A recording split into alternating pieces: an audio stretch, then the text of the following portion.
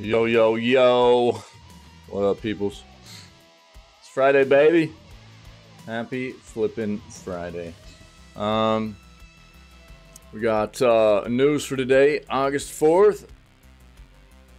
Obviously, doing what we do every day, diving into the world of video games, the industry, finding out what's going on, what's uh, what's happening, and then we'll uh, we'll get back into some more Remnant, man get back into some more Remnant 2. And uh, we might finish the day up with watching a little bit of some Evo action together. Uh, Evo is kicking off today. Big fighting game tournament that happens every August. And uh, I enjoy some competitive uh, Street Fighter action from time to time. Uh, I don't play myself, but I really, really enjoy the uh, the watching it. You know. What up, Vault? What's going on, dude? What's up, man? So, um, we might uh might head over there for like maybe the last hour or so. The I think uh, Street Fighter Six stuff pops off at about noon. Uh, I won't be able to stream real late today. I've got I've got a little bit of a uh, an appointment going on this afternoon, so uh, I'll probably have to hop off of here uh, maybe a little bit earlier than I normally would. So not not too much earlier, but we'll probably head over and watch a little bit of some uh, some FF SF6 uh, competitive fighting stuff with at the Evo tournament. We'll we'll uh, watch or we'll co-stream that through the uh, the Evo channel on Twitch before we uh, head off for the day. And uh, that's the plan, man. I hope you guys are doing well. Hope the weekends kicking off right, dude. Let's go ahead and jump in here and see what's going on with the uh, with the news, man. We'll go ahead and kill the uh, the tunes, and uh, let's see what's going on in the news. Let's get over here.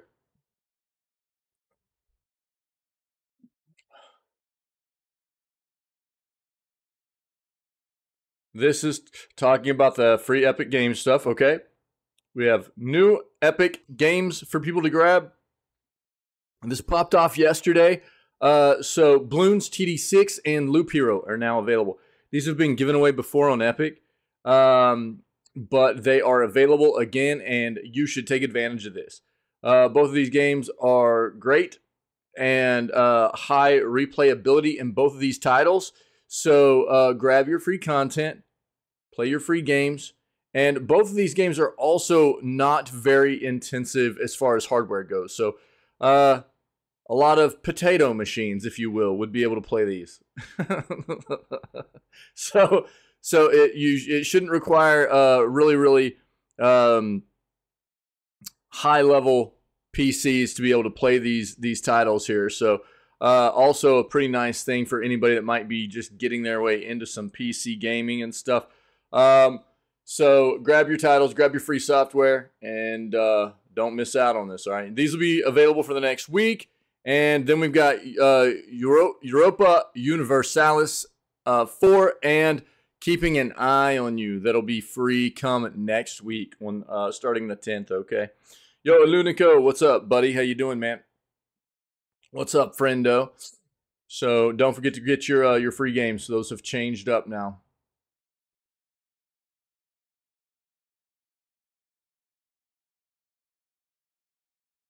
First Bethesda games arriving now on NVIDIA's GeForce Now service. This has to do with the uh, 10 year deal, I think, that um, Microsoft signed. Because if you didn't know, Microsoft owns ZeniMax, ZeniMax owns Bethesda. You know what I mean? Like, that's the whole umbrella there. Um, so, um, this and Microsoft and NVIDIA have a 10 year deal now. So, um, Bethesda games are starting to hit GeForce now. So let's take a look at that. Baldur's Gate 3 already one of the most popular games in Steam history. Is that a surprise to anybody? Anybody surprised that that's actually a thing? No, I don't think so. Well, we just started the news, buddy. We just started the news. So we'll be hitting on plenty of Baldur's Gate 3 stuff, I am sure. Yeah. So uh, we're just starting the news, man.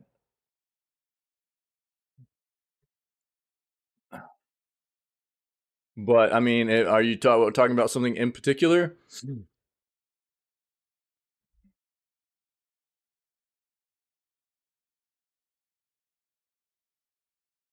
This is just talking about the Epic Games that became free now that we just touched on.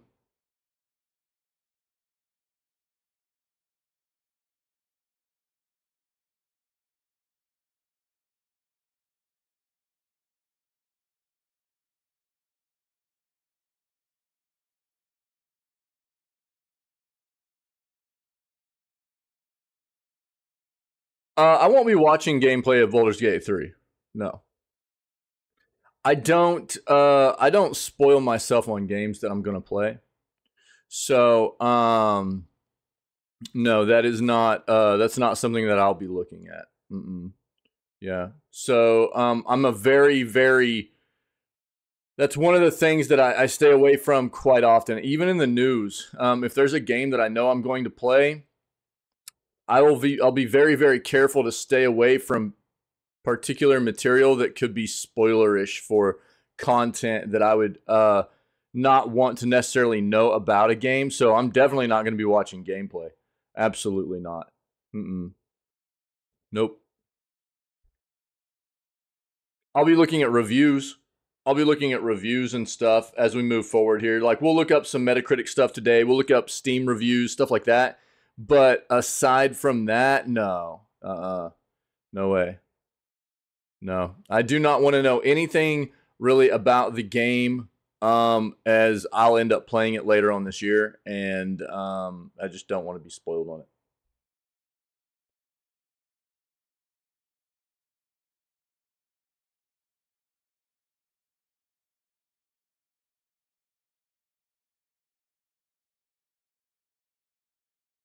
Let's uh let's look at the Prime Gaming stuff. We've already kind of hit on what was going to be there for August, but let's touch on it again since August is in fact here, okay?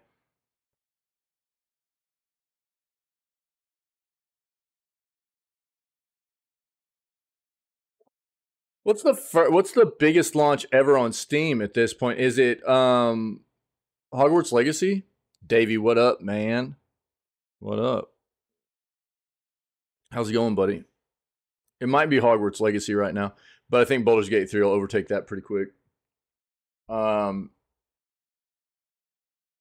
so we knew Baldur's Gate 3 was going to be huge.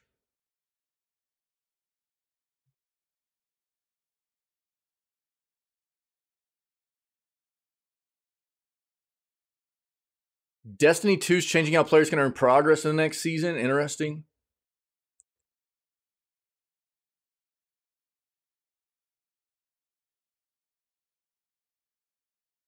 Looks like there's a mod for Baldur's Gate 3 that will allow you to multi-class on the easiest difficulty. Um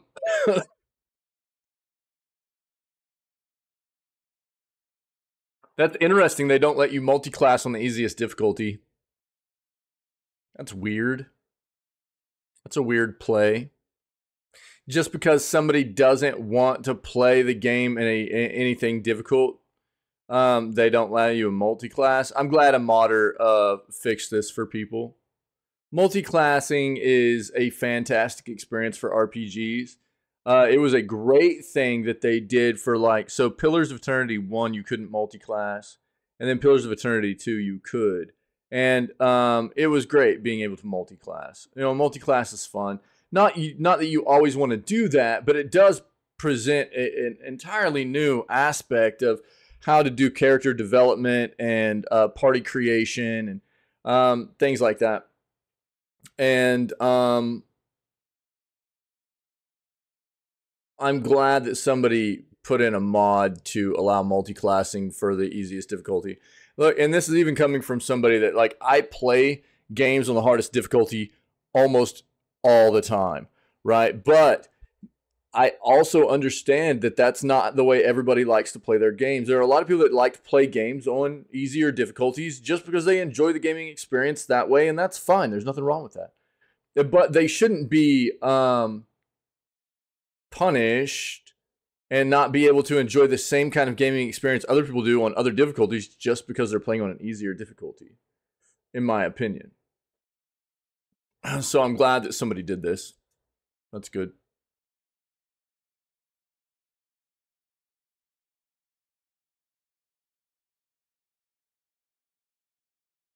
Already talked about that.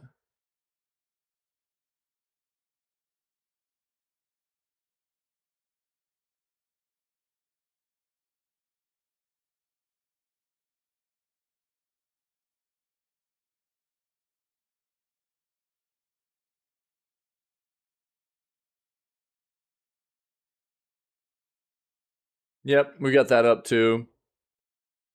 We'll look at um, just reviews for the game, Metacritic, Steam, stuff like that. We knew Baldur's Gate 3.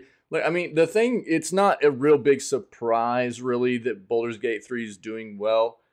We are people are had already had a taste of this game for a long time, you know. People had already had a, a good taste of this game for a long time. So uh, on PC, we we we were pretty sure that this game was going to be solid. Um, it's been in early access for a good good bit, and uh, geez, like the better part of what, like three years now, I think, right? Something like that, two to three years. Yeah. So, I mean, it's not like this game just dropped and people haven't been able to try it. And I think most people were aware that this game was going to be pretty good on release. Not that there couldn't have been issues on a full release, you know, but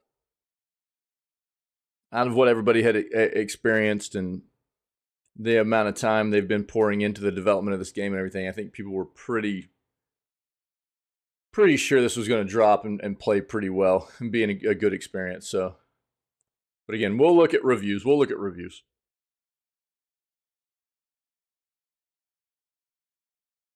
Uh, I expect you to die three cog in the machine release date has been announced. We'll take a look at this.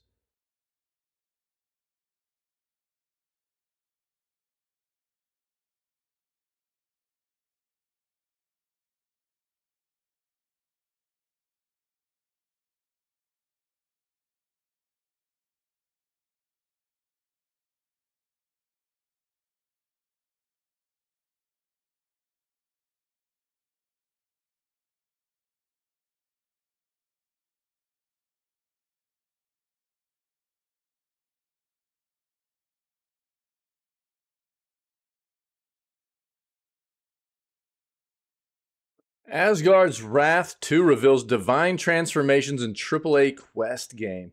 VR role playing game, huh? Have you guys seen anything about this? Let's pull this up. Let's take a look at this, see what this is about. I don't know if I've seen this or not.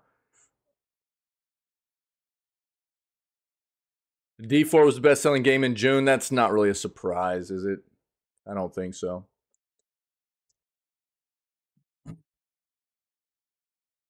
It also helps that it came out. It was a big, big release that came out at the beginning of the month too. That helps a lot. I wonder how many copies of Diablo 4 sold as a AAA game in I'm actually inter- interested in something. Let's take a look at something real quick. Um,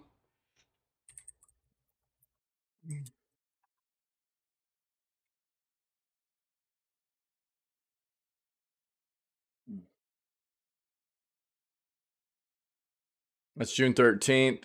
I need something current, dude.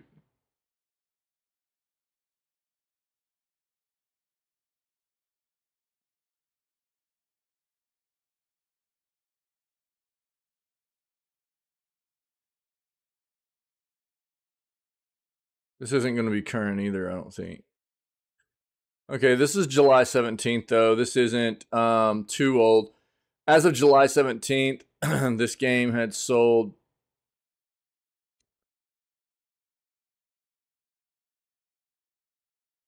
Of course, you gave it a perfect score. Gross.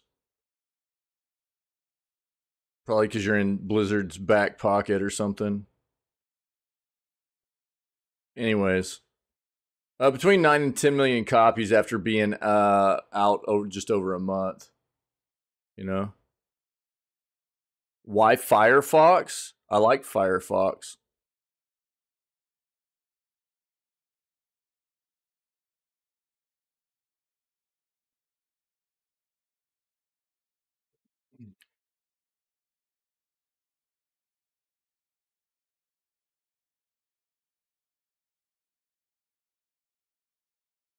Um, and so what? Uh, after about what a month and a week, so about five weeks out, it had sold roughly.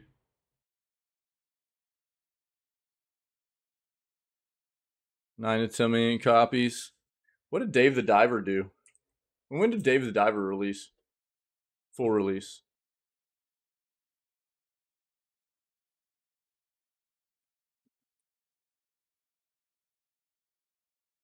What do you use? Chrome?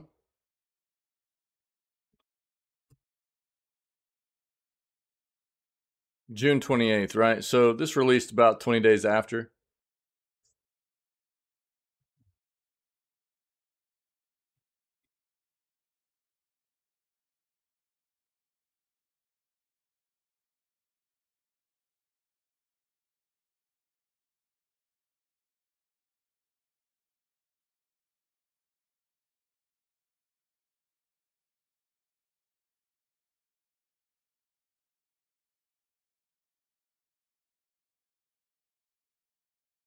No, this was in early access too. I wonder how many uh, is sold in early access.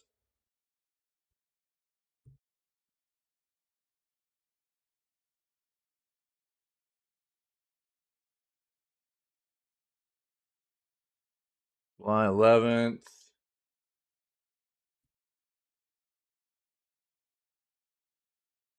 Chrome and for work Edge. Look, I had to use Edge for work before as well. I'm not a fan of Edge. I'm also not a huge fan of Chrome. There's some uh, occasions where I'll use Chrome um, to because all browsers have wonkiness in certain ways, and so um, personally, I'm a fan of Firefox. I have been for a long time. Um, I enjoy it for what it is. the The other thing about it is that Firefox is not a uh, browser that's being made and maintained by a big juggernaut corporate organization. You know what I mean? And uh, that's one of the things that I enjoy about it, also. And it's a pretty nice uh, browser, dude. I enjoy it. I like it. It does good for me. It has for a long time, so I've stuck with it. Um, you know, you want to be, uh, you know, I mean, whatever. To each their own. You use what you use because you like it or whatever. Um, I don't know. I've never been a big fan of Chrome. Google is a small company. Yeah.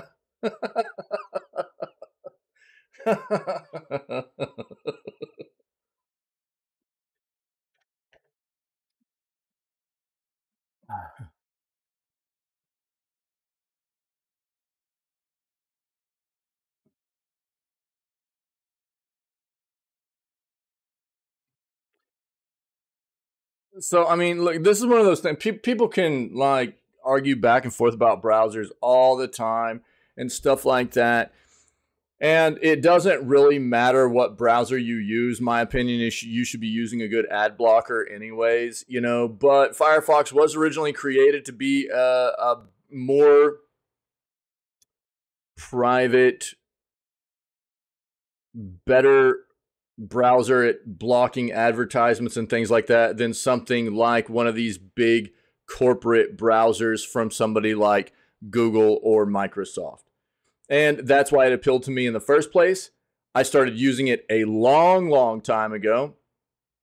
Um, so I don't know, man. Um, look into it. You know, uh, I've I've stuck with it for a long time, um, and I've just continued to use it because it hasn't done me wrong. You know what I mean? So um, maybe something to look into since you asked the question. Uh, if you want to take a look, then here you go. That's Firefox for you.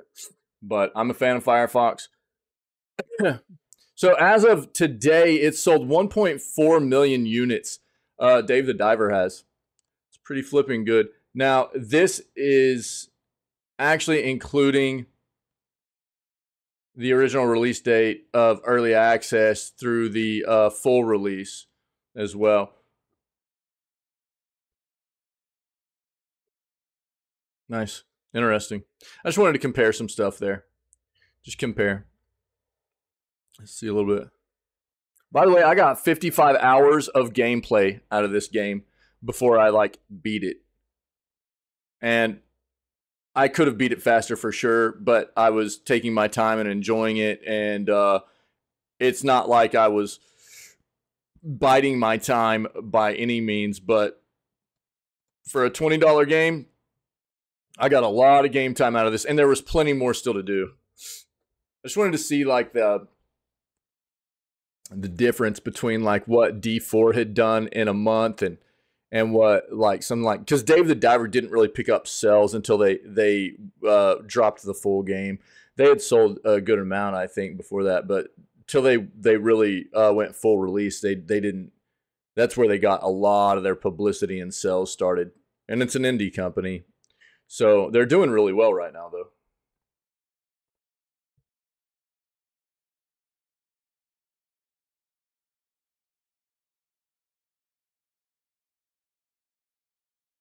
We knew this.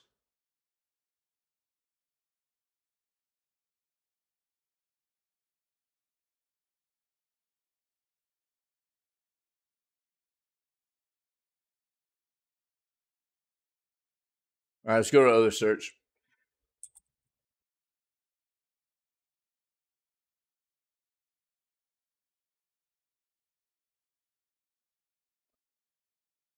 Yeah.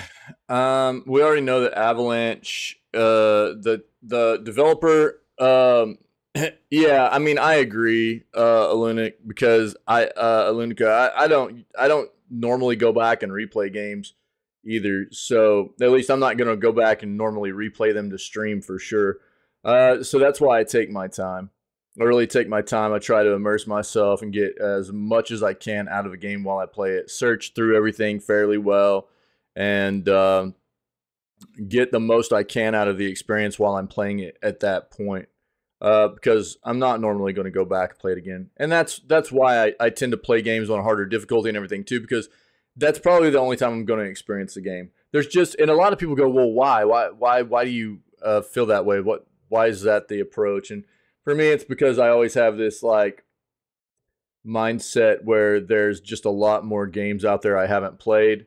There are always new games. There, I have a backlog of games I haven't played that I want to play, that I'm trying to get to. There are always new games releasing that I want to play, and I'll never be able to get caught up. You know, and as much as I love some of the games that I have played, I'm always looking for that next thing that really, really uh, appeals to me, you know, and I, I have a lot of fun with in the gaming world. And because I love all genres of games, really, it's hard for me to want to just go back and replay a game, you know. But yeah, I do take my time because I want that experience to be the best it can possibly be while I am immersed in that that title, you know, each respective title. Yeah.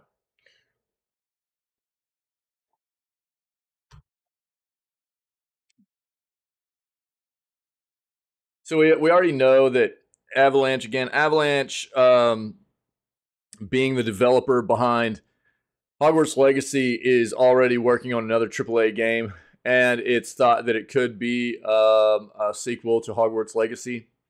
We don't know that yet, um, but there is some thought that it could possibly be that. Uh, it might not be as well, but uh, we'll see what happens.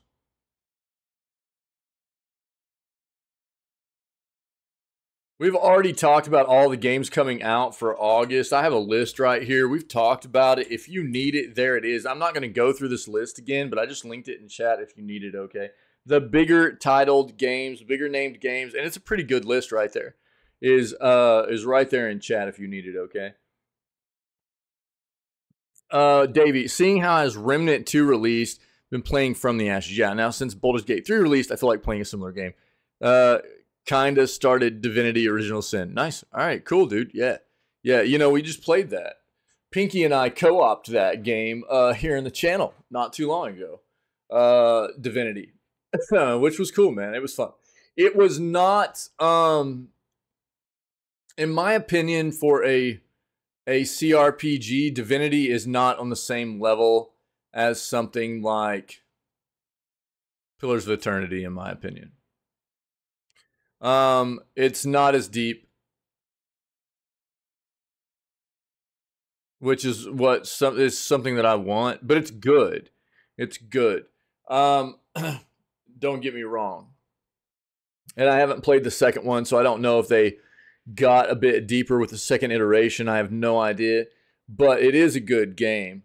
And um, I think quite often when you think modern CRPG, modern esque CRPGs, a lot of people tend to think about like Divinity Original Sin, and obviously, you know, Larian had, you know, that's Larian, which is why you're talking about, you know, that and Baldur's Gate 3. But I just bring up um, something like Pillars of Eternity because I think Baldur's Gate 3 is going to be something much more along the lines of what you're going to experience, even to a larger scale than what Pillars of Eternity even is, but more along the lines of what Pillars is than what you would experience in Divinity. From everything I know about Baldur's Gate 3, it seems more like a game that aligns closer to what Pillars brought to the table than to what Divinity brought to the table. As far as how deep the RPG aspects go. but Divinity is a great game. It really is. It was fun.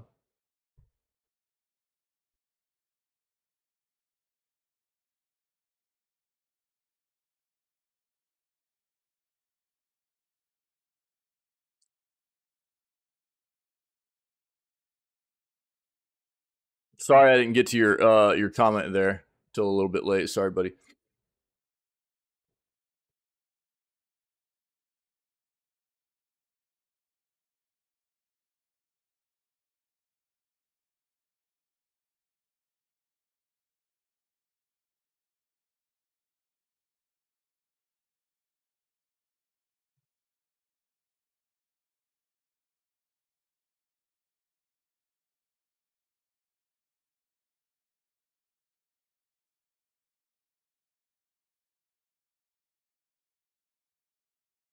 Yeah. Baldur's Gate 3 is crushing, dude. How many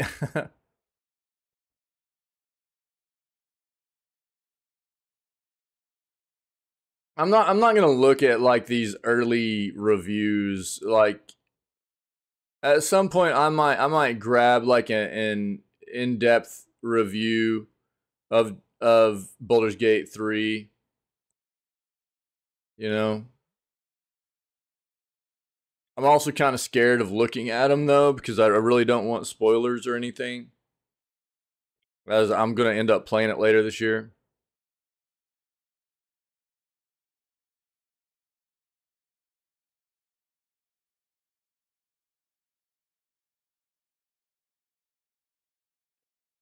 Yeah, um, D4 is having some issues right now um, with the way they have pushed out some updates and addressed some of the balancing issues and they're they're catching a lot of grief from the community for it. And um it's you know these are the these types of games are are uh, really difficult to address. It'll simmer down. It'll simmer down. The the player base the community will uh end up becoming accustomed to the changes and it'll blow over, but it takes time. These kinds of things usually do. Um, I think it was something that was maybe a little bit unforeseen on their part as to the kind of balancing they would need to have done in the game um, outside of what they experienced in the betas. And um, unfortunately, it's something that yeah has kind of ticked off the player base a bit. And time will time will heal it, but it's going to take time. Yeah. Cyberpunk 2077 is getting a prequel. All right. All right, CDPR. Here we go.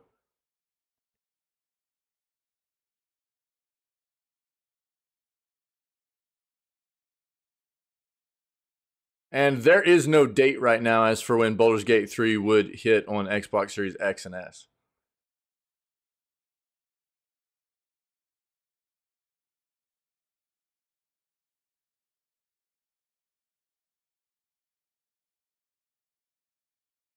We already talked about this. We don't know what game it is, but apparently Spawn's going to hit a major game in October.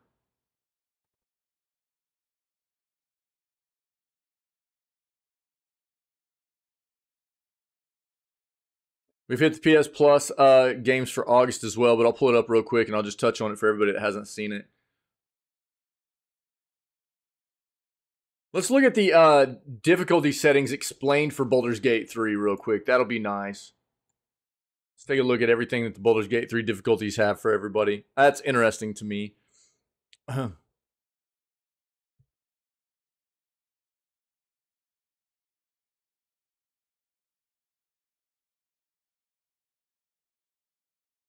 Yo, that is great. I agree. Uh, Baldur's Gate has no microtransactions. It's a rarity nowadays. It really is. It's a rarity nowadays.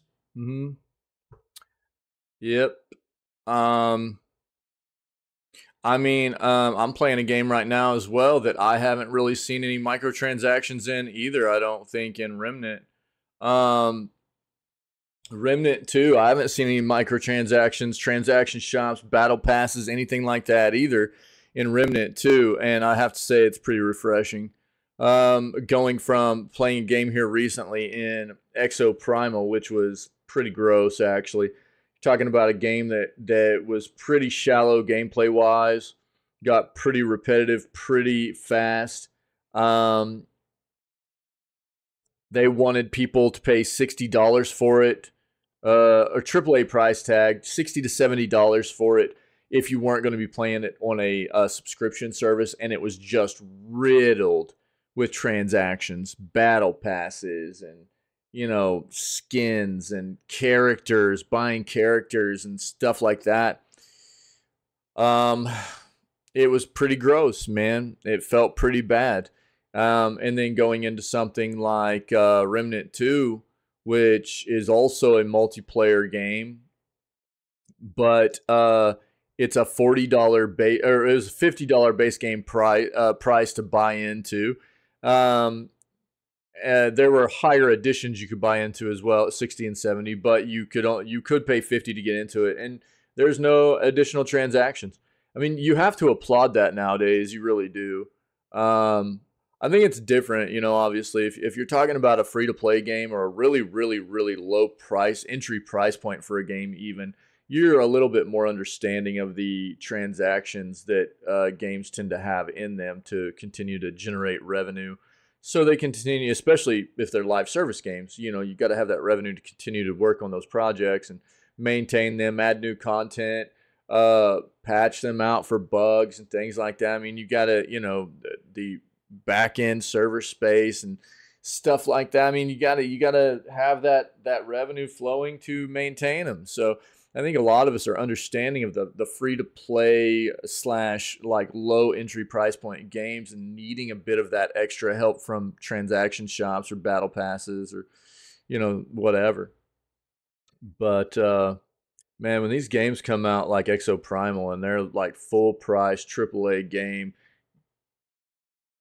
and they just have so much of that in it too. It's like, oh man, this is a cash grab. It's pretty gross.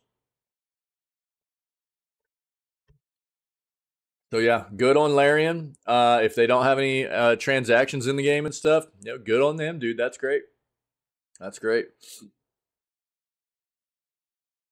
Quake 2 remaster will be announced at QuakeCon. Ooh. We already talked about that.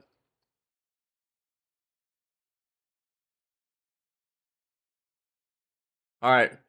Um, we'll get into these. Let's go ahead and look at Baldur's Gate 3 to start off the uh, the morning here. Let's see what we're dealing with.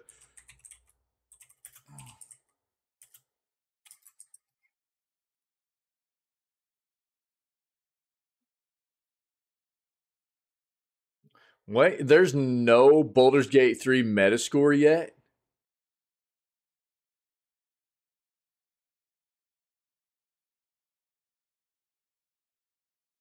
That's weird. We'll just go look at Steam. We'll look at this again tomorrow. I didn't expect there to be user reviews yet because you can't put user reviews on Metacritic until a day, 24 hours after the game releases. But normally there's already a good number of critic reviews up. That's a bit weird. You can see we've got, I don't accept that. There's no way. There's no way it's perfect. There's no way. I've never played a perfect game. I can't help but compare it to great sessions of Dungeons and Dragons with your friends. It's something that, when done correctly, will stay with you long after you have finished a play session. Team at Larian Studios are to be uh, commended. Baldur's Gate 3 is nothing short of a masterpiece when it comes to RPGs. Um, an excellent follow up to its decades old predecessor, Baldur's Gate 3 sets a new gold standard for RPGs in the modern age.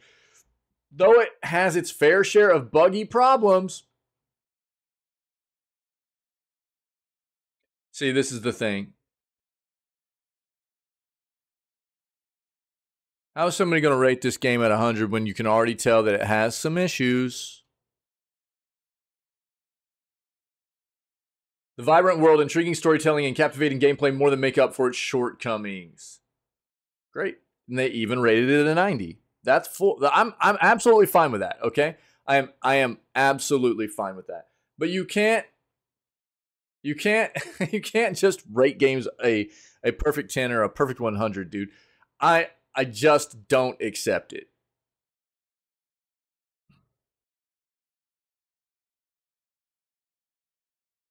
And it's it is so early right now for the full release that uh, look, they got 28 critic reviews right now. Why is this game not showing a? This is weird. Let's go look at Steam real quick. Sure. Who rated it that high? Uh, dude, who was that? It was. Was that IGN? I mean, you get it all the time. You get it all the time. No, TRG, my bad. TRG. Yeah. Yeah. 100. 100. And look, for me, I mean, that's I talk about that a lot. I I just I'm not comfortable with that. I'm also not comfortable with games being rated as an absolute 0. You know what I mean? It just that just doesn't make sense. Um to me that usually means that somebody's trying to review bomb something, you know? Um but to rate something as a, a perfect 100 or a perfect 10 is also like you can't tell me that game is absolutely perfect. There's nothing that could have been done better. I've never ever experienced a game that was like that. So it's weird to me to see people do. That's why I always take the 100. I don't even read the 100s. I don't even read the perfect 10s because it's like you don't know what you're talking about. You're blinded by something, whether it be a fan of that genre or a fan of that developer or the characters in that game or something, you're blinded by something. You you're not able to like fully critique that game correctly. I just don't. Yeah, yeah, personal opinion agreed, but um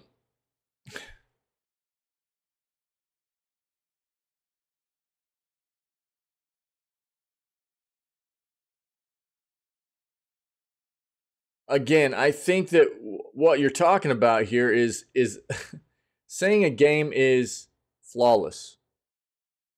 That's what that's what that rating is. If you've got a rating scale from 0 to 10 and you're rating a game at a 10, you're saying that game's flawless, there was absolutely nothing wrong with it.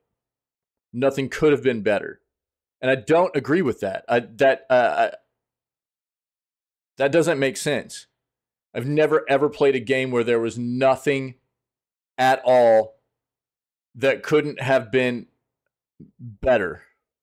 Whether it been some quality of life stuff, maybe some bugginess in it, whatever, right? That's why every time I see people that rate a game like that, or whether it be a zero to 100 scale, people that rate 100s, and I understand what you're saying, and I talk about that a lot, right? Rating anything is someone's personal opinion. It, everybody has their own respective opinion, the way they judge things, look at things, experience things, the way we um, enjoy our entertainment, gaming, movies, TV, whatever. Absolutely.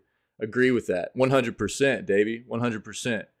But I see it all too often where people rate games like that and I just never read them because uh, to me they're they're they're looking at that game and saying that there is absolutely nothing that could have been done better.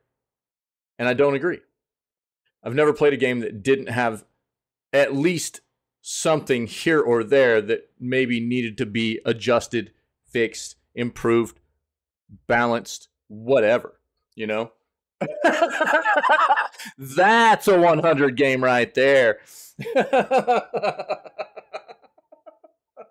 you know, so um that's where uh, you know I do have an issue with people just throwing out like tens and hundreds on depending on what the scale is, you know. For me it doesn't make sense. What's up General Happiness? What's up, buddy? Um let's look at uh Steam real quick.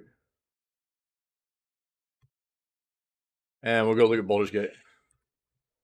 Look at look at how well Dave the Diver is doing, dude. I cannot again, I cannot recommend this game enough to everybody that has not played this or seen this yet. We're talking about a game. It went into early access last November. It full released on June 28th. So, dude, uh, like just over a month ago, and it is at over 45 thousand reviews of 97% positive. This game was amazing. I played 55 hours of it, and it is a $20 game. $20.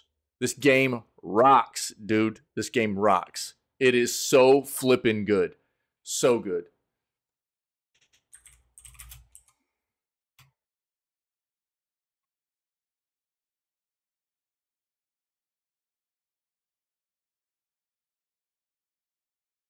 So uh, all reviews is going to include like all the early access stuff, right? You can see all the early access stuff had it at 91% positive. Well, everybody knew this game was pretty solid already, and now the uh, it's up to 96% positive in the last 30 days. Take a look at this. Uh, let, let's just look at the graph over the last day. This is what we're really wanting to look at here. Um, excuse me, excuse me. Um, right here Let's just look at today, not that. Today. My bad.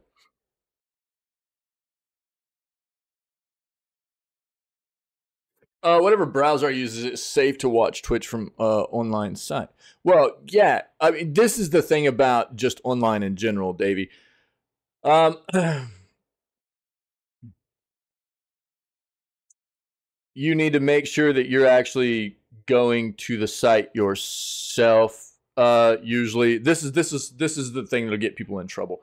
Uh, clicking on links that maybe get sent to you that um, you know it doesn't matter what browser you use really. You know what i mean? As long as you're going and typing in twitch.tv or you've got it bookmarked yourself or whatever you're fine. One of the things you can look at uh, quite often for websites and things like that you want to look for this HTTPS that um, means secured. Sometimes you'll have like an HTTP, right?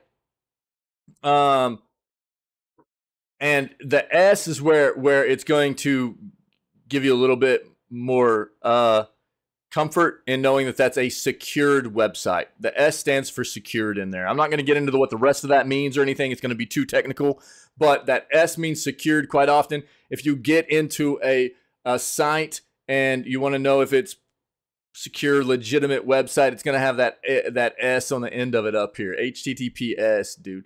Um, but for the most part, you just that's what you need to be careful about.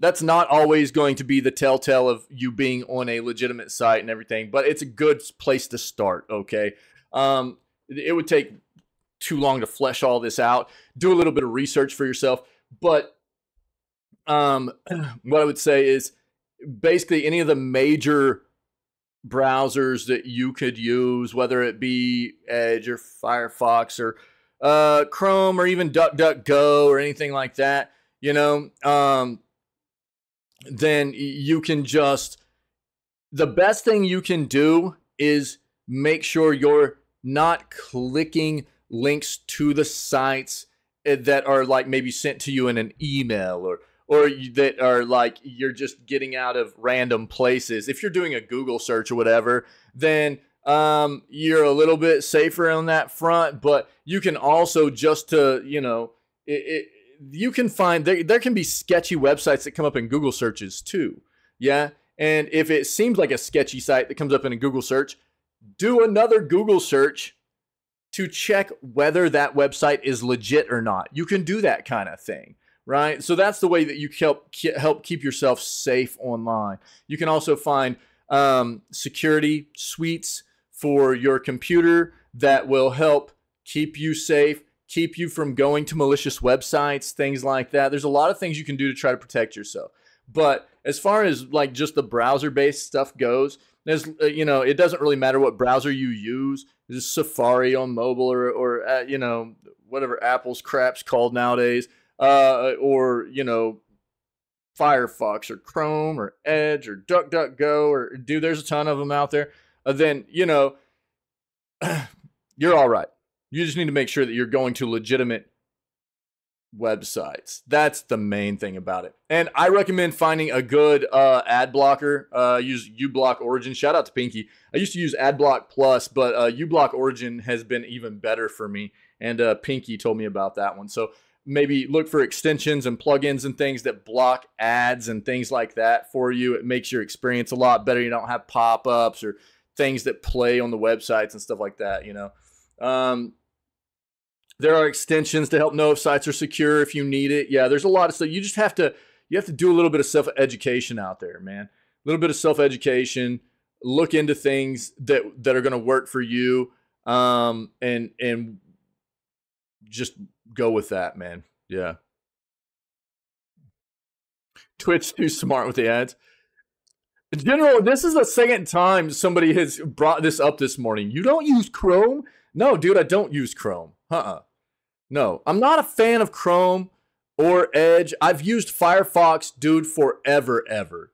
And um, it, yeah, I'm not a fan of Chrome. I'm not a fan of Edge either or Internet Exploder is what I used to always call uh, Explorer. Yeah, gamers nowadays tend to use Opera GX a lot. Yep, yep. Uh, look, I mean, I've always been a fan of Firefox. It's always been good for me. It's never let me down, and so I've stuck with it. It was always an alternative to the big uh, browsers. It was always meant to be something that was supposed to be a little bit more private, a little bit more secure, not as easily ingrained with ads and pop-ups and stuff than maybe some of those big corporate browsers were from like Microsoft and Chrome, which is why I started using it in the first place. Um, so I've stuck with it. I've stuck with it. Um, and it's been good for me, so I'm fine with it. I like Firefox, dude. I like Firefox. So, random mode time.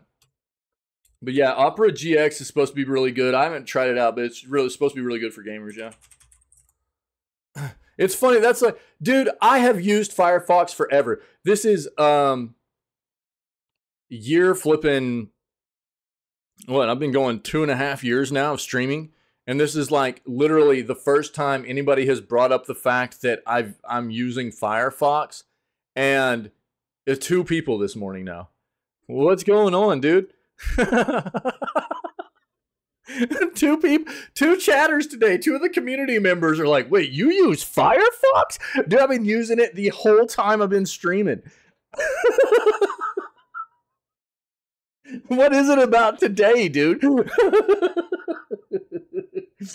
both General Happiness and Alunico, both, dude.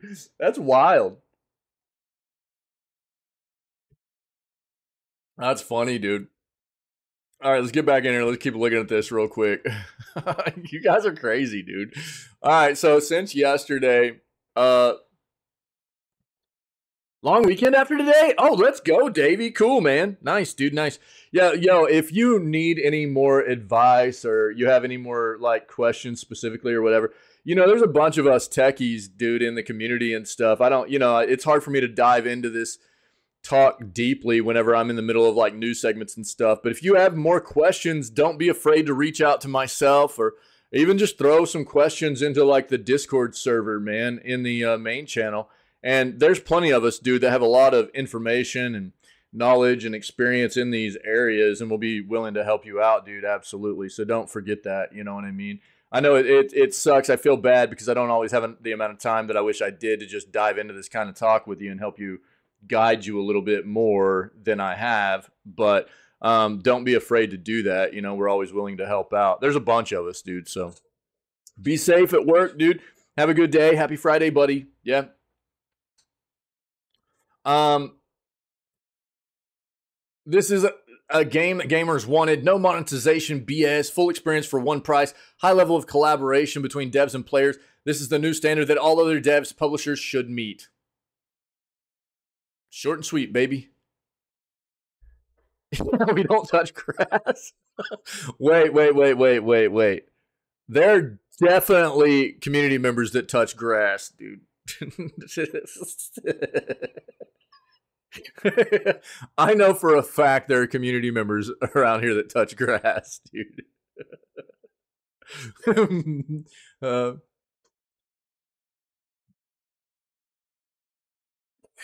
no way, dude. What? Beat a woman to death with a mace so I could steal her valuables, use a revive scroll, and then gaslit her into thinking I was the hero who saved her life. So now she is indebted to me. Dude, that is awesome. Insane. Nice. That's great, dude. That's awesome.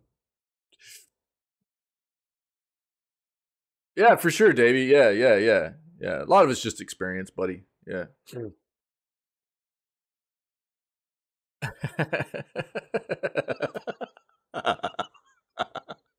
Bro, that's insane. Uh yeah, this is the same thing that people were saying, like bye bye Diablo 4 season one, see you never. That's the same thing that people were saying about like uh Remnant 2. They're like, thank God another good game came out, or a different game came out that's pretty decent because we needed something else to play besides Diablo 4 season one. There's so many reviews on Steam right now They're like, um, well, won't be playing Diablo 1 Season 4. Fine. Thank God we've got something else to play.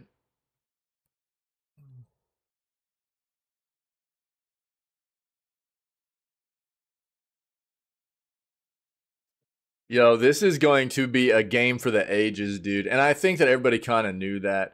Um, the reason I'm not playing it right now is because I have so many other games coming to play, and I didn't want to I, want my I want to be able to dedicate like uh, my full attention really to this game. Um, so we're probably gonna start playing this in like November timeframe. Uh, so Scaretober, soon as Scaretober ends, is probably be Baldur's Gate three time. Um, but right now it's like, dude, Remnant two. I'm in the middle of starting Fallout New Vegas. We got to finish up Grounded once Pinky's available. We've got, um, which we're not too far away from finishing that, I don't think. Um, I've got WrestleQuest starting in four days, dude. WrestleQuest hits. Um, so we're gonna play WrestleQuest, and uh, then at the end of the month we've got Blasphemous two. Um, next month there's the potential for things like, um, we'll see how Starfield is maybe Starfield, maybe. Um, but there's of P dropping as well, and if that game ends up being decent, we might play that. Um, there's just a ton of games dropping right now. There's also um, Armored Core 6, which I won't play on release because it's FromSoftware and they're terrible with PC releases.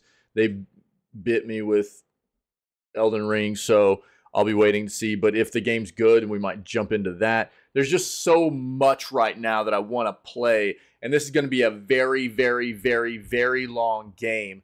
And I don't want to be throwing in too many other things in the mix uh, of Baldur's Gate. So probably November.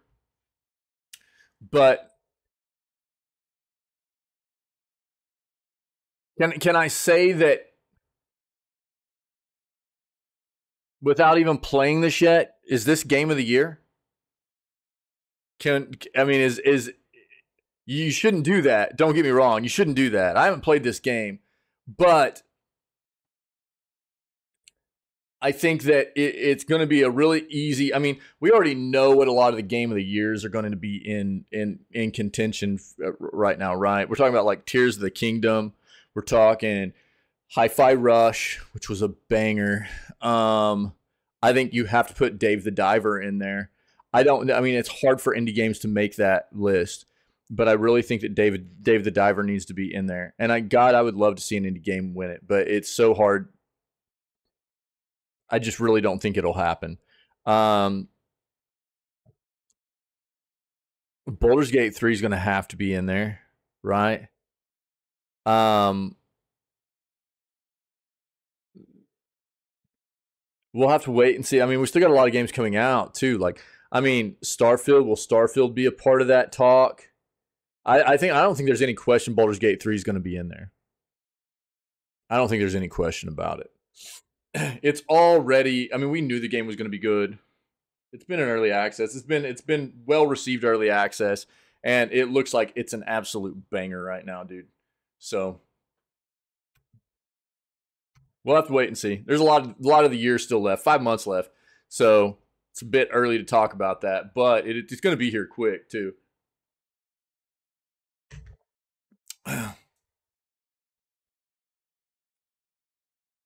Street Fighter Six, will that be in there? Will that be in talk? You can't leave out games like that either, though. Just because maybe there's a lot of people that don't play. There's a lot of people that play fighting games too. You can't leave that out of the mix. I don't really see it winning, but I don't know if you can leave that out. All right, let's get into these uh these articles here. A Quake 2 remaster will be announced at QuakeCon. It's claimed. The game was rated in Korea earlier this year. Um, a remaster of Quake 2 will be announced at QuakeCon. It's been claimed. That's according to reliable leaker billbil-kun, who claims that the game, which was first noticed earlier this year as part of a ratings board listing, will be officially unveiled during QuakeCon. According to the report, it's not clear if the game will be subtitled remastered or enhanced, as the listings have been seen by billbil-kun refer to both names. Enhanced uh, Quake Enhanced was released in 2021, so it's possible the game will follow the same naming convention. The game will reportedly be released on PC, PS5, PS4, Xbox One Series X and S, and Switch. It will be a different release to Quake 2 RTX, the enhanced ray tracing enabled version of Quake 2 released by NVIDIA in 2019. Um, After three years of digital only events, QuakeCon 2023 will mark the return of the in person at the Gaylord Texan Resort and Convention Center in Grapevine, Texas from Thursday, August 10th to Sunday, August 13th. QuakeCon is our favorite event of the year, and we can't wait to finally see our incredible QuakeCon community in person again. Celebrate games and frag all week with thousands of friends.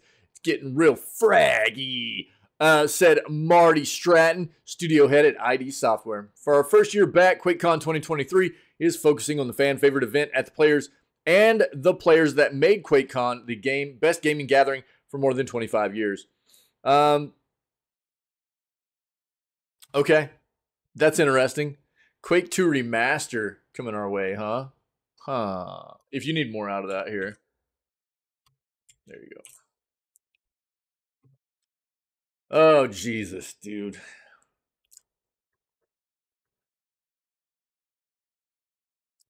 Cyberpunk 2077 is getting a prequel.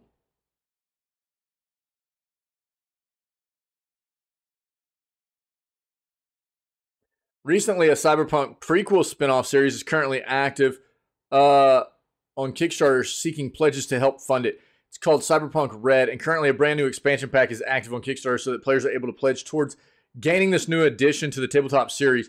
Oh, okay.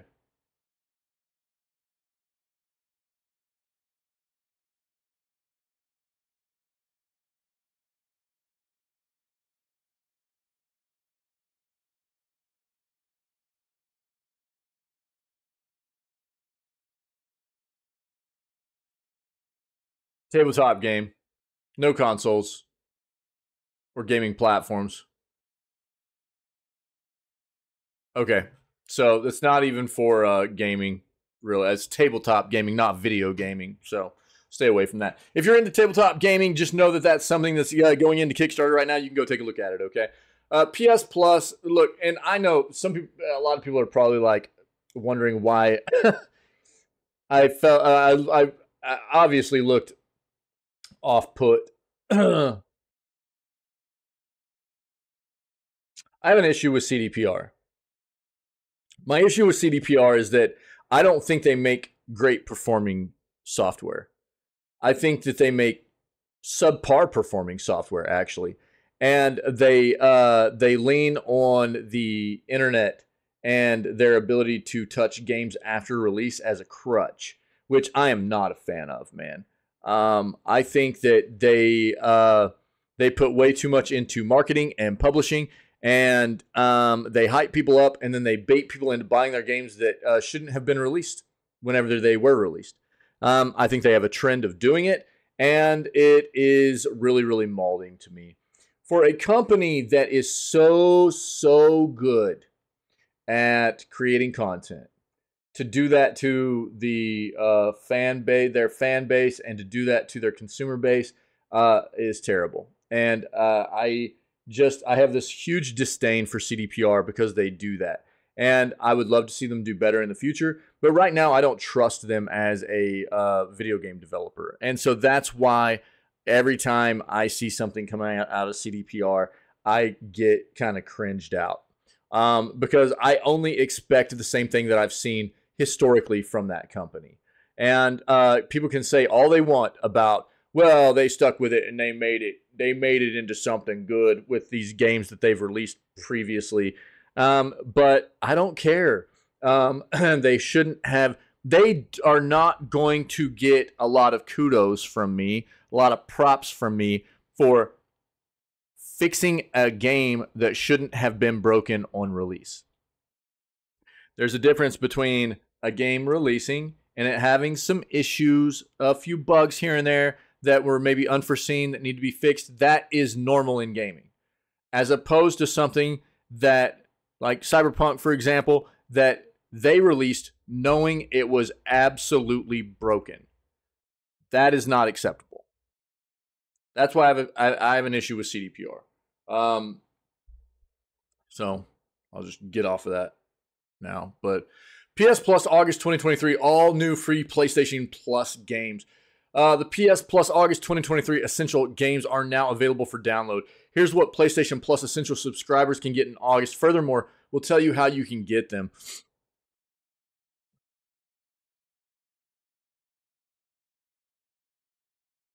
Yeah, look, I'm not saying that uh, you know, like See, that's the issue though. that's that's the problem. So many people, and, and I, I agree. I'm glad that for the consumers they stuck with it and they fixed it. But it seems like people give them like an award for it. You know what I mean? It seems like people give them an award for fixing their game. Well, they stuck with it. They did, you know, they turned it into something good and and uh, you know, it, I mean, they literally have gotten awards for doing it. Literally. There was like an award they got for how much and what's up, Ferret? Exactly, but they did. They got an award for how much they fixed the game and improved the game um, for the state of it when it released. And I was like, you've got to be flipping kidding me. It was like all these other games that were in the running, and it was really supposed to be an award that that was to show how much a game had evolved and how much the developer had worked on it since release. And they won. And I was so pissed because it was like they shouldn't have had to do that much work they won an award for fixing a game that was broken on release. When all these other people that were in the running, all these other developers that, that were in the running for this award, didn't release a broken ass game. So they didn't have to do as much work to fix a game because they shouldn't have had to. See, that's the thing that, that drives me nuts, man. Um,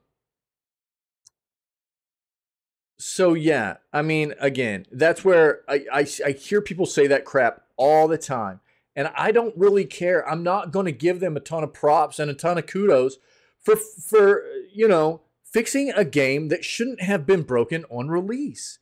This is the mindset that I think that all of us have gotten into because we've dealt with it for so long. So many broken games all the time, and it's like, oh well, We've seen games die off.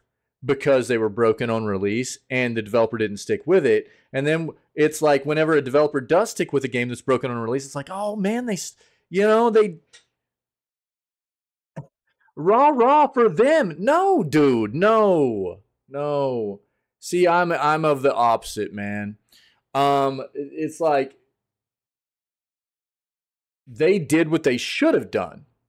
You know what I mean? This is exactly what they should have done because it, they got the game to the point of what the game should have felt like when it released initially. They don't get an award for that. They're not going to get props for me from for that.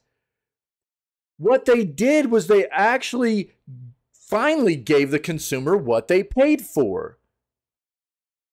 you know what I mean? This it's it's a backwards way of thinking about um developers in the industry, dude. I can't do it. It's it's it's put us in a bad spot as the consumer and as video game enthusiasts, and and I just don't I don't like that way of thinking about it.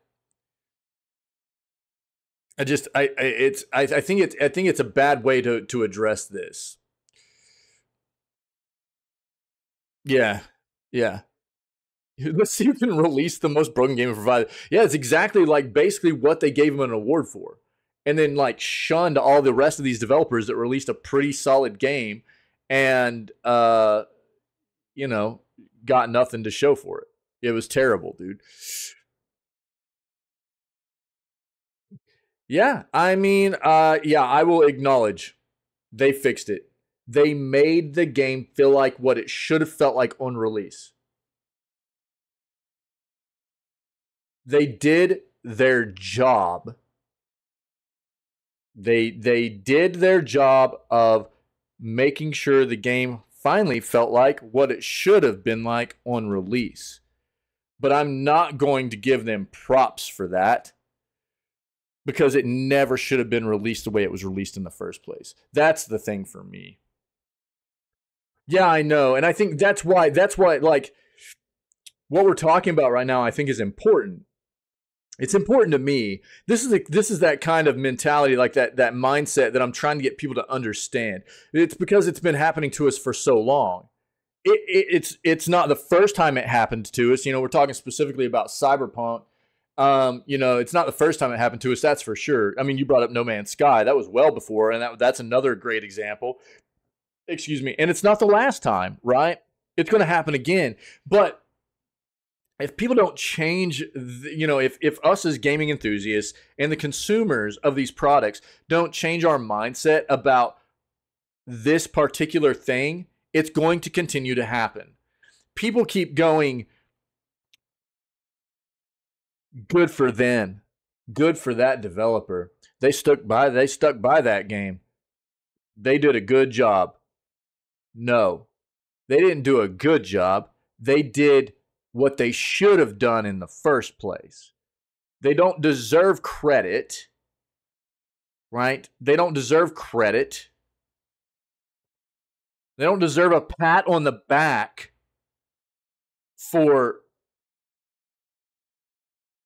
doing what they should have done in the first place. They baited everybody in with their marketing ploys and their their you know all that stuff to get people to buy it in the first place you know like cyberpunk. Dude they baited 13 million people into buying that game knowing it wasn't ready. That's not acceptable. And they don't get kudos. They should not get kudos. They should not get awards for finally making the game feel like the way it should have felt when it released in the first place. Exactly and that's what I'm trying to get across to people.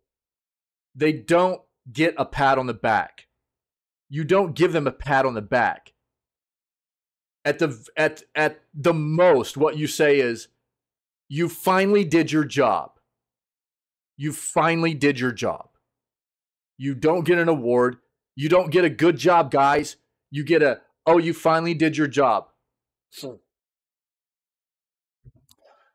That's about as far as it should go. In my book, I, I think th- that's why we've gotten into such a bad place and why so many of these companies feel like they can continue to do this crap to us over and over and over again, man.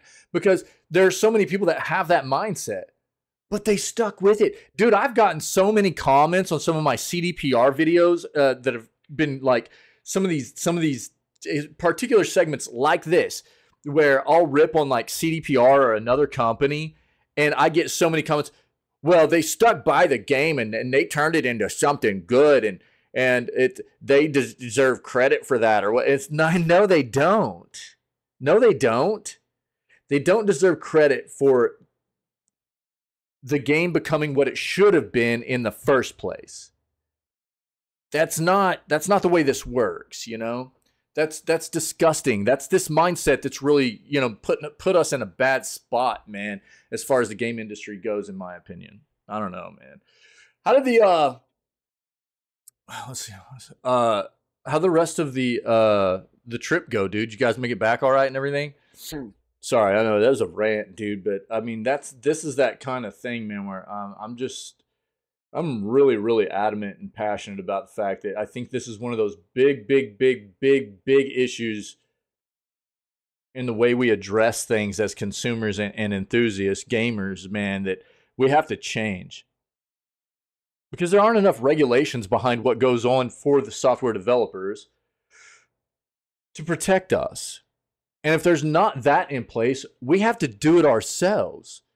We have to stand up and, and, think about this the right way, or else it's just going to get worse and worse and worse, as we've seen, you know?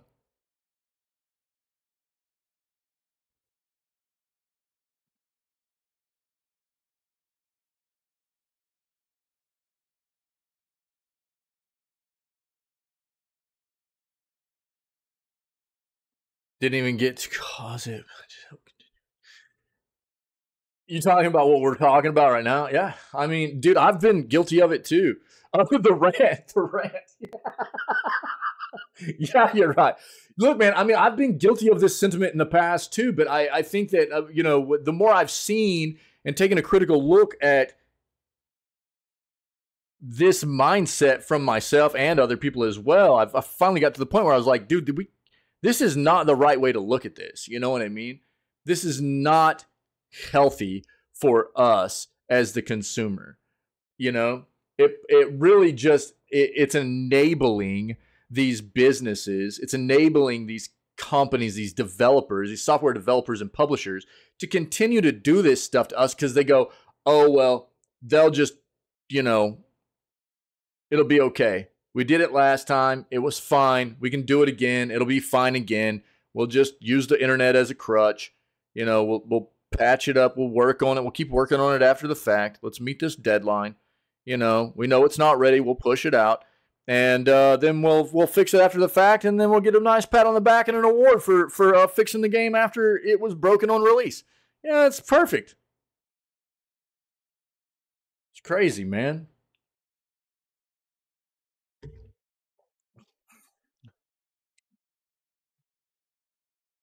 Hmm. How'd the trip go, man? back back just in time for rantings, dude. God dang. It's I think it's there's something about your aura, bro. you know, it gets me going. It gets me ranty, dude. Uh, PS Plus August 2023, all new free PlayStation Plus games.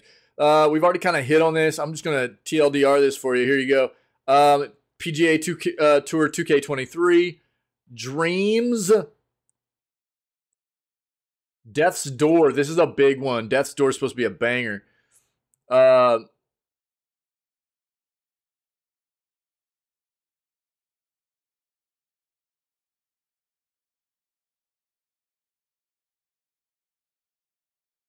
The new PS Plus games are now available for download via the PS Store uh, for both PS4 and PS5. All right. So there you go. If you need this, I'll link it.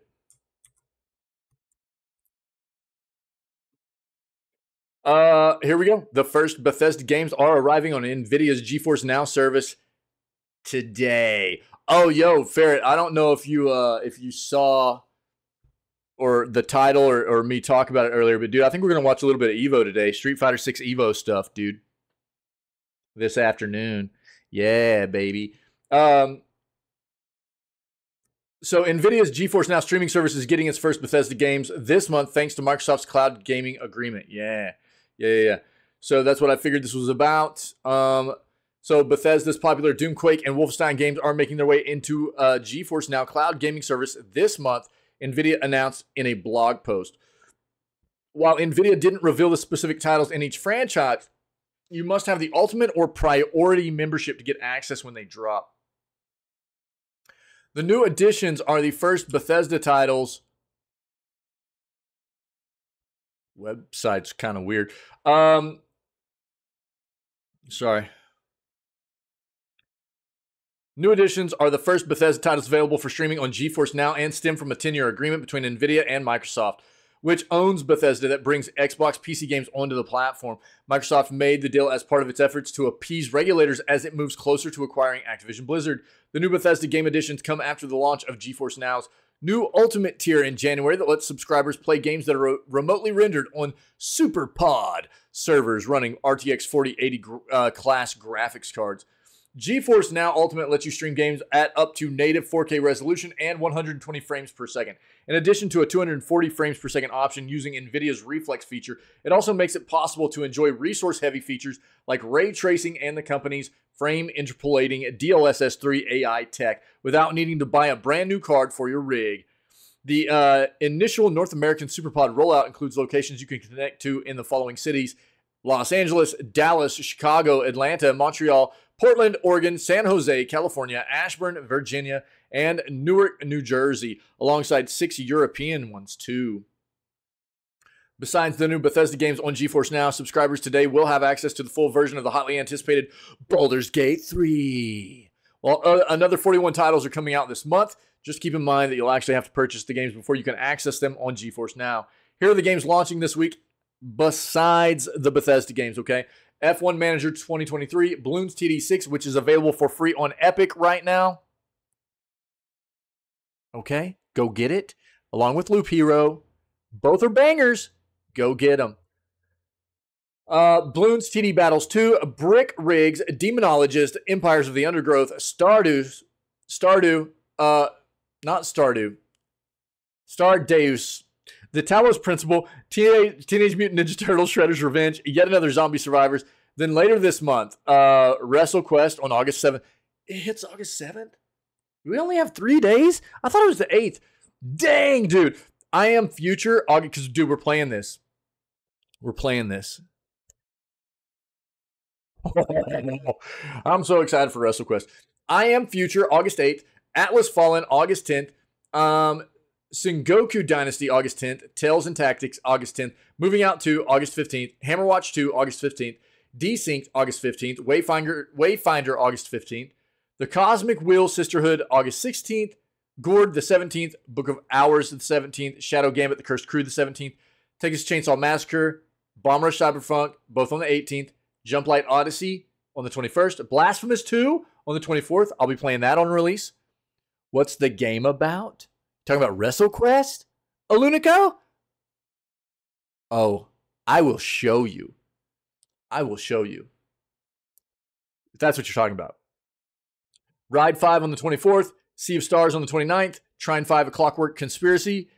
Yeah, yeah, Alunico. Give me one second. Uh, on the 31st, Deceit 2 on the 31st, then Ink, Inkbound, Lego Brawls, Regiments, Sessions, Small Land Survive the Wilds, Super Hot, Terra Invicta, Wall World, Wild West Dynasty, Wreckfest, and Xenonauts 2, all without dates on them. All right.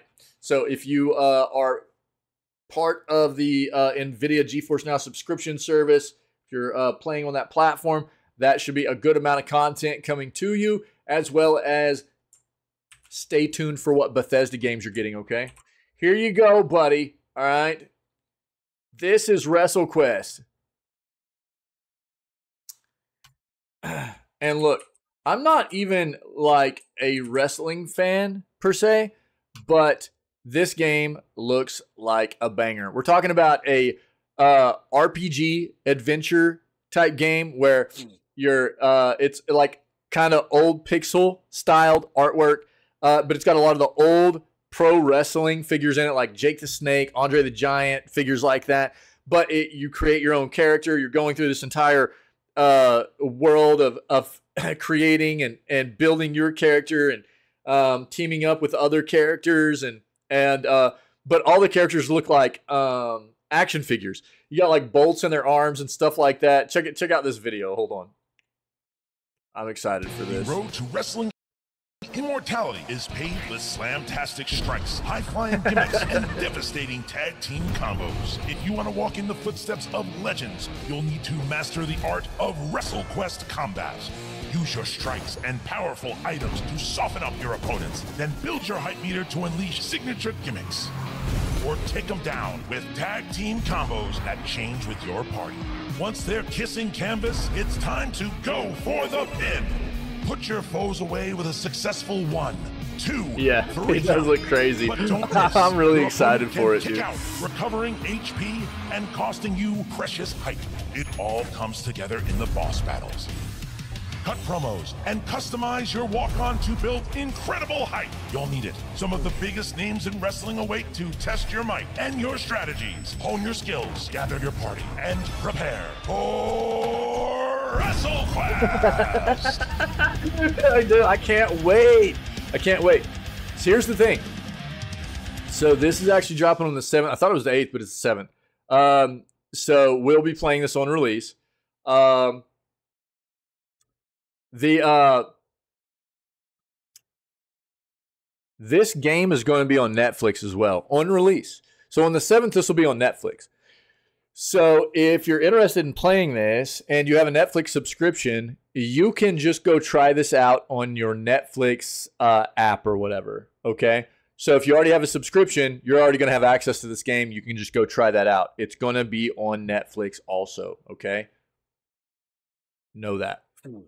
But that's what WrestleQuest is, buddy. So we're gonna we're gonna be playing that starting in uh, like three days.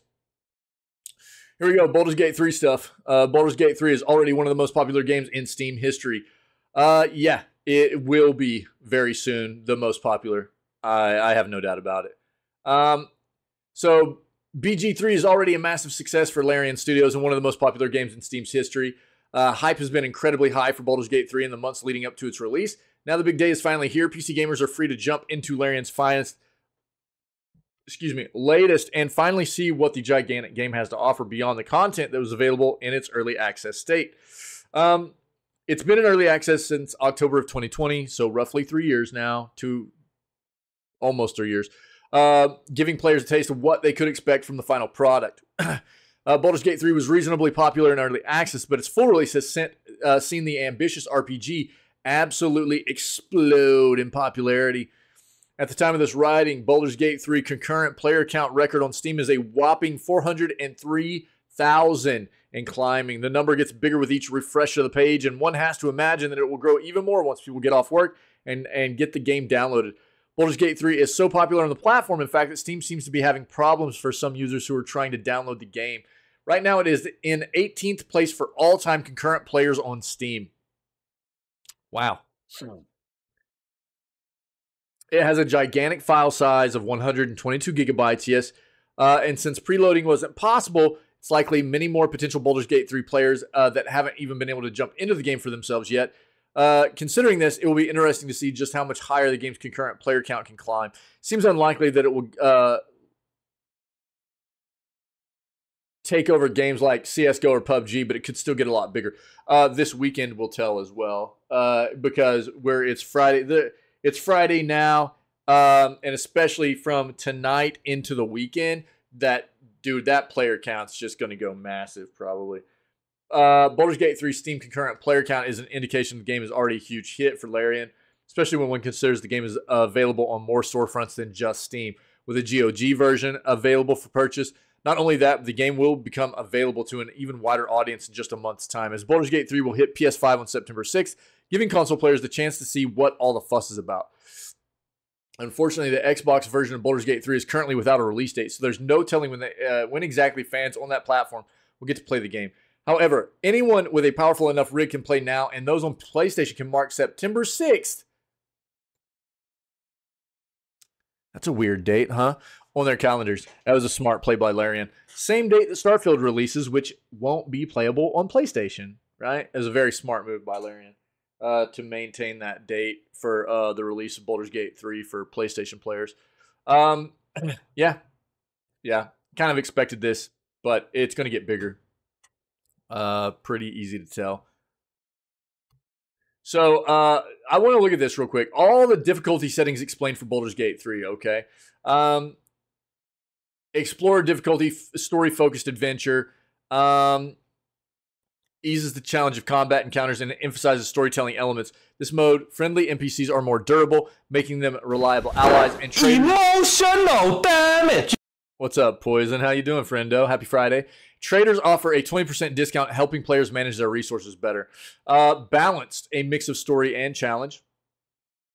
Recommended for most players as it provides a well-rounded gameplay experience without overwhelming newcomers or frustrating seasoned players. Yo, let me let me say this before I move on. Apparently, this lowest setting doesn't allow players to um, do multi-classing for some reason. I don't know why Larian would have done that. Um, in my opinion, that's just gatekeeping a really cool RPG element behind difficulty settings when some people don't want to play this game for a difficulty reason they want to play it more for the experience um, rather than also difficulty. And but we read this morning there is a mod out there that's already been created. Uh, if larian hasn't fixed this if, if this wasn't a bug if this was intended a mod has been created uh, by the community that allows you to go ahead and also utilize uh, multi-classing on this lowest difficulty setting. Okay, so know that's out there.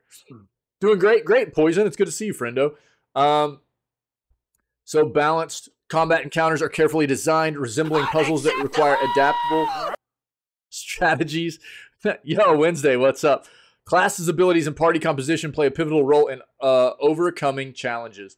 Tactician difficulty, the ultimate challenge. Tech Tactician difficulty is a formidable option best suited for seasoned players who relish hardcore challenges and strategic gameplay. That's probably what I'll play it on. This mode demands a deep understanding of Dungeons and Dragons mechanics, tactical positioning, and a willingness to adapt quickly to ever-changing situations. Combat encounters are taken to another level of complexity when enemies targeting vulnerable party members and in using enhanced weaponry and tactics. Um,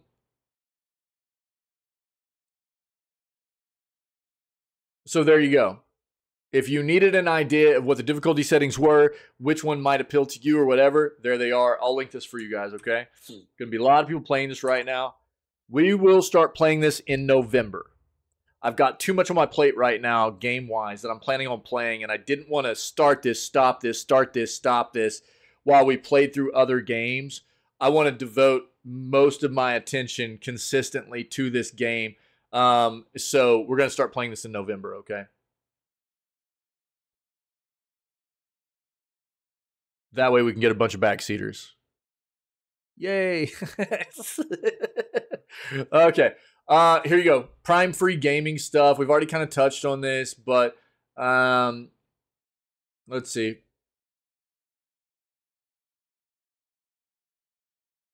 Free games available this month for Prime Gaming. That's Amazon Prime Gaming.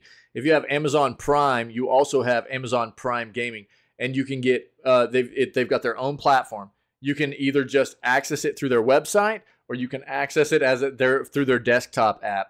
Uh, a lot of their games will be free. You'll claim them; they'll be free, and you can access them through Amazon's desktop app, or there there'll be uh, keys for the GOG platform, Good Old Games, um, which is a great platform, by the way. Uh, the free games available this month include Payday 2 with the Gage Mod Courier DLC, Farming Simulator 19, Blade Assault, Star Wars The Force Unleashed 2, Four Tales, Driftland The Magic Revival, In Sound Mind, and Summertime Madness. Um, there's also, we all already talked about this as well, but aside from full games you can get for free on Prime Gaming, they do a lot of collaborations with developers and publishers so you can get in-game content, whether it be like premium currency, skins and cosmetics, uh, all kinds of stuff, man. It, there's all kinds of stuff. Um, so you need to just go to their website, take a look. But I mean, you're talking about stuff for like uh, Diablo 4, Fall Guys, Hearthstone, League of Legends, FIFA, Pokemon Go, Honkai Star Rail, Teamfight Tactics, Dead by Daylight, uh, PUBG, all and more and more and more and more. There's a ton of them, man. There's a ton of them. Good morning, my friend. How are you? How are you? Sorry, I missed your comment there or uh, your chat. So go to Prime Gaming, take a look. I'll link this for you guys if you need it. Okay. Just another great place to get free gaming content for PC. Here we go. Uh, Ferret. Oh, I'm doing great Wednesday. Thanks for asking. I'm fantastic, man. Fantastic. Ferret, ferret, ferret. Calling all ferrets. Community ferrets. Destiny 2 is changing how players earn progress in the next season.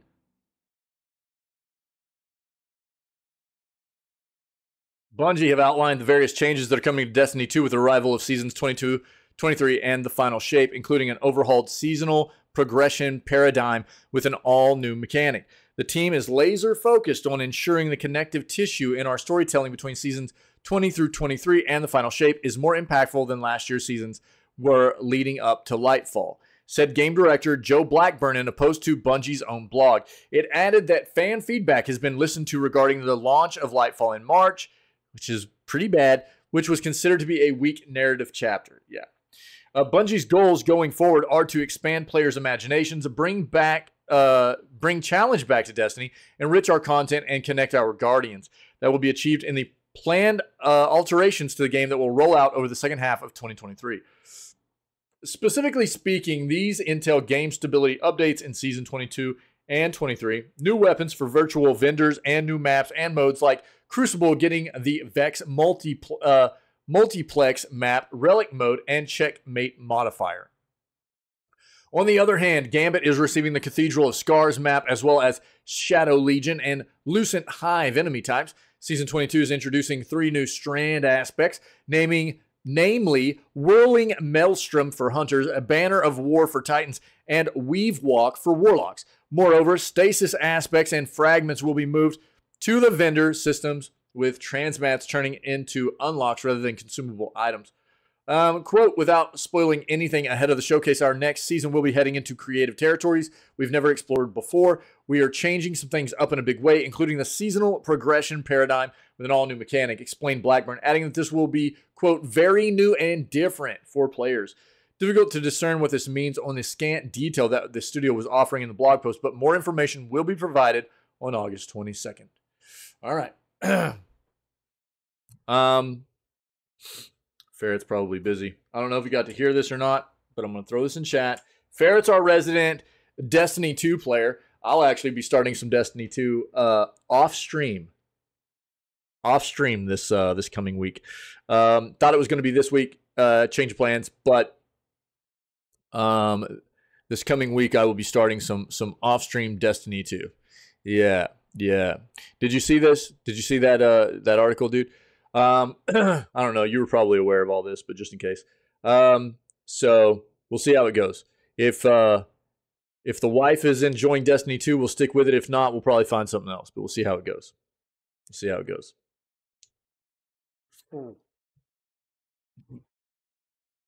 Generally aware. Oh, yeah, I kind of figured. I kind of figured. If you want that article, dude, it's right there in, ch- in chat right above you, man. Here we go. Schell Games announced I Expect You to Die 3 Cog in the Machine release date. Let's take a look at this.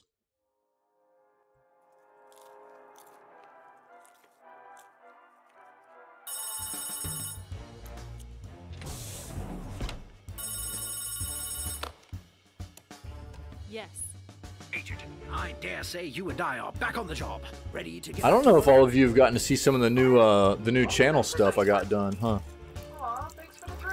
Aw, thanks for the drink. I missed my mouth though. You're good, buddy. You're good, man. That's what a real agent looks like. They say soda is the new water.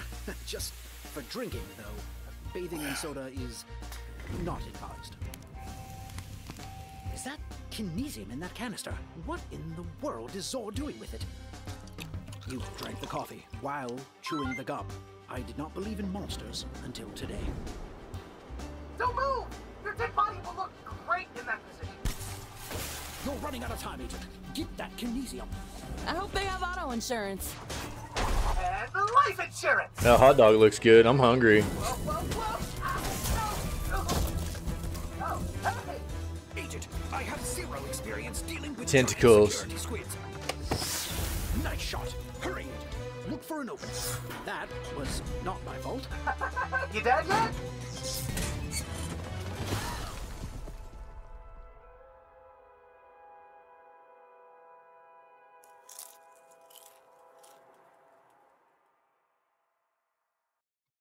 All right, September 28th, huh? Uh, MetaQuest users can rejoice as Schell Games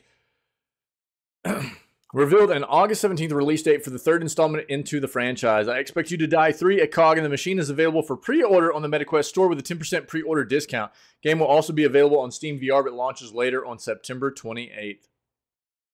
So, August 17th for MetaQuest and uh, Steam VR will be a September 28th date, all right? Um, I Expect You to Die 3 Cog in the Machine is the latest title in the Schell Games' award winning spy themed VR puzzle series. Players will travel to action packed locations, wield complex gadgets, engage robots, and harness their telekinetic powers to solve tricky puzzles and stop Dr. Zor's plans. Players encounter Dr. Prism, her sidekick Ro Butler, Ro Butler, and her various robot agents as they work to save the world once again. Cool. I'll link this for you guys if you need it. Oh, for real? Nice, dude. Nice. It looks wild. Yeah, it looks wild. Okay, uh, this is the last article I have for the day, and then we're going to move on. And our plan for today is to go play some more Remnant 2 for today, which has been a banger, dude. It's been a lot of fun. We're going to keep pushing Remnant 2 gameplay. And um, then probably this afternoon, um, around lunchtime, I'll make some lunch and then we're just going to watch some Street Fighter 6 competitive Evo. So the Evo tournament kicks off today. Um, only really good for one playthrough. Oh, yeah, yeah, yeah. Gotcha, gotcha. So um, this is uh, Evo kicking off today. Uh, this is the big, big competitive uh, fighting game tournament that kicks off every year around this time. And um, you can see that we've got uh, where's the uh, where's the schedule at? Start out with Evo Moment 37. Yeah, dude, probably. Uh, we'll probably see it, dude. We're watching Street Fighter, so I'm guessing that during the stream, yo, Peter, what's up, buddy? During the stream, we'll probably end up seeing Evo Moment 37 at some point, dude. Because uh, we'll we'll go in there and watch this, so you can see that um, Street Fighter 6 for today, August 4th. Street Fighter 6 starts off at noon, our time, time shown or local to you. So uh, noon o'clock, noon o'clock, uh, Street Fighter Six pops off. So we'll probably just because I've got a, I've got an appointment uh, mid afternoon, so um, I won't be able to go quite as long as I probably would on a Friday. But uh, we'll probably like take a break. I'll make some lunch, and then we'll just watch Evo for the rest of the afternoon. I love competitive fighting games. Uh, I've I've I've I've loved Street Fighter for a long time. I don't I haven't played for a long time, but I love watching the competitive Street Fighter scene. Um, it's very very interesting, and I would at least just prompt you to consider hanging out and watching with us. Okay, the um, the amount of talent and um, practice that goes into and knowledge that goes into the people that uh, play these games at a high level is insane. It's really really impressive. Um, and I love it personally, and I think that uh, it, it it you've got to respect the amount of dedication that these these players put into honing this craft of being very very high level competitive players for these respective kinds of games, these fighting games. And uh, personally, I just like watching Street Fighter. And Street Fighter 6 is the new game for Evo this year, right? Because uh, it has evolved from Street Fighter 5 last year to Street Fighter 6 this year. So it should be interesting to see how this works out. Um, so uh, we've got Evo popping off for today, tomorrow, and uh, the 6th, right? So all weekend long. So all the way through Sunday. Now the thing that sucks is that on Sunday, uh, the Street Fighter Six finals don't really pop off until like late late night, so we probably won't watch that. We could go b- back and watch like the vods of it, but today and tomorrow we'll probably just watch a little bit of the competitive stuff that kicks off at noon each day. So that's the plan. Okay, that's the plan. Yeah, yeah. Um, Mission failed. We'll get next time. Thanks, Wednesday. Uh, let's get in here. We'll we'll look at this last article. If anybody has anything else to add for video gaming news, uh, let me know in chat. I'll address it before we move on to start playing games and then get ready to watch Evo later on this afternoon. Okay. Asgard's Wrath 2 reveals divine transformations in AAA Quest game. Um, Sanzaru Games' exclusive VR role playing game, Asgard's Wrath 2, will not only break boundaries with open areas, a deep dive trailer shows you how to free yourself from mortal bodies as a giant god. You'll reach high alcoves, solve mechanical puzzles, the boomerang axe of your first hero, Albraxis, excuse me, can not only kill but also move distant wall mechanisms. Asgard's Wrath 2 will be released in winter of this year for Quest 2, Quest 3, and Quest Pro. Let's see what this is, dude. I don't know if I've seen this yet. Got like a four minute uh, video here. Let's see this.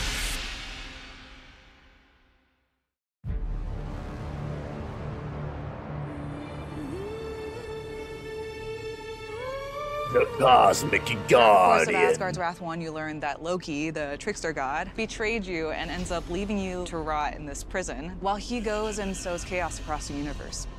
Asgard's Wrath 2 kicks off right where Asgard's Wrath 1 left off, and you get whisked away by the Weavers of Fate. We are the weavers, connecting the threads of time and space. And you, you are the one who helped Loki escape. The Weavers of Fate tell you that you're actually this cosmic guardian. As a cosmic guardian, your responsibility is to find Loki, stop him from upsetting the balance of chaos and good in the universe, and seal these tears in reality that Loki has left behind. The Cosmic Guardian also has unique abilities such as changing perspective, going from a smaller scale when you possess those mortal heroes to this omniscient god Yeah, scale mode where you can see parts of a puzzle that you couldn't see previously or lift up items that you could never lift up as a mortal. The Cosmic Guardian's main Gives me more some, challenge like, is really getting God of a War on the realm of ancient Egypt. In order to do vibes. so, you'll need allies that are familiar with the land, A the little bit. tales, and the weapons. So you'll gain mortal heroes that you meet on your path. Someone there? Strike me down if you will. Abraxas is the first of our four possessable mortal heroes. You rescue him when he needs you most, and you two make an unlikely pair. Ignore his words. His soul calls for you. In a way, you have kind of a symbiotic relationship where you help him fulfill his destiny, and he allows you to fulfill yours as well. What is this power? Writhing through me like snakes.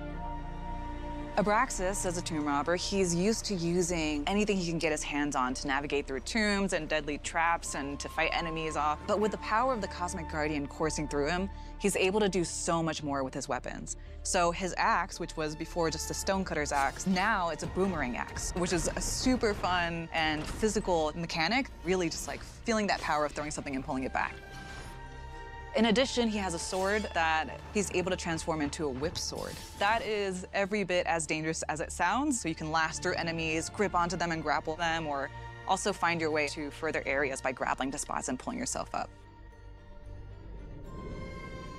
God scale gameplay is an incredible way for you to get a new perspective on the environments and also for you to go toe to toe with Dude, are some ripped up jeans gods. coming back in fashion? Is that a thing now? Met.